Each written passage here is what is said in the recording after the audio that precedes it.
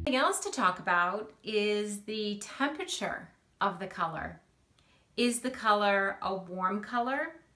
Does it have, um, th think about a fire. If you were to look into a fire, what are the colors that you see? Reds, oranges, yellows, really warm colors.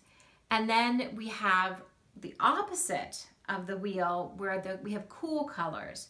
Cool colors sort of think about, you know, a nice summer day in the mountains. You're gonna have the blues and the greens and the depths of those purples that kind of fall in there. And those are all cool colors.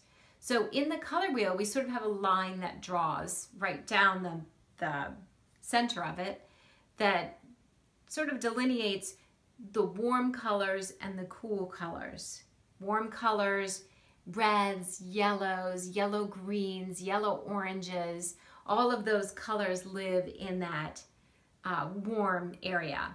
Then you have your cool colors, blues, greens, lavenders, purples, that all live down in the cool color section of the color wheel.